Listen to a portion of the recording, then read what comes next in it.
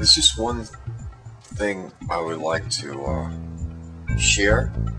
Um, like if a woman comes up to you and she pinches you in your butt, does that mean she likes you?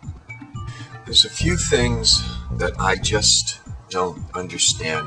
One of them is why do they call both men and women, hey guys, if the economy is so good, like, why aren't there any jobs?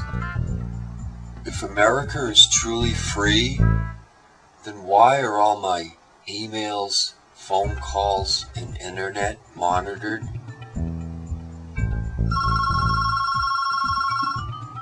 See what I mean?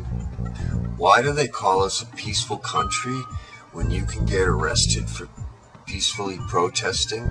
Tell me why in movies Marvel Entertainment always has to dress all their superheroes in black leather.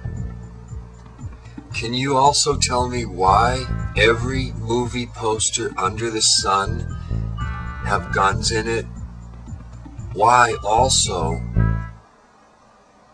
do people always shoot with a gun in both hands? And the FDA is our National Food Drug Administration, and they're supposed to tell us that it's cool to eat that food. Then why are you trying to kill us? They used to call women actresses. Now they both become actors.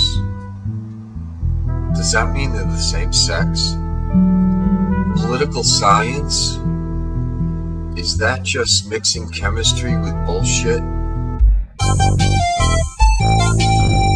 Ask me why, ask me why, ask me why, I, I, ask me why, ask me why, ask me why, I, I, ask me why, ask me why, ask me why, I, I, ask me why, ask me why.